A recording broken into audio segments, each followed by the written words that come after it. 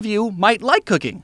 I don't. I hate cooking, but I know how to cook. I cook a meal, I purposely cook way more food than I need You're so I can get to. two meals out of only cooking one.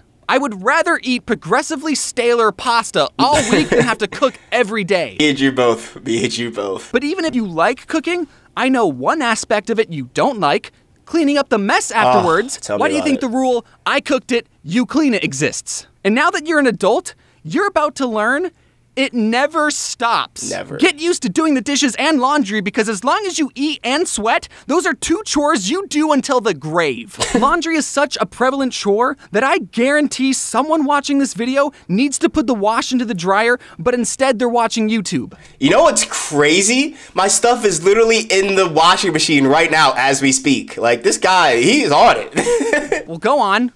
Lead. I'll be right on it. I gotta change it.